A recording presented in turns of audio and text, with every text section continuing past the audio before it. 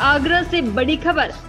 पुलिसकर्मी पर युवती भगाकर ले जाने का आरोप डीसीपी पूर्वी ने पुलिसकर्मी सलमान को किया सस्पेंड थाना पिनाहट में तैनात पुलिसकर्मी सलमान खान पर हुई कार्रवाई।